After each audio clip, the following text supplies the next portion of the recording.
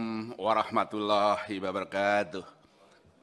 Salam sejahtera bagi kita semuanya. Salam, Om Swastiastu, Namo Buddhaya, salam kebajikan. Yang sama-sama kami hormati seluruh pimpinan dan anggota Komisi 11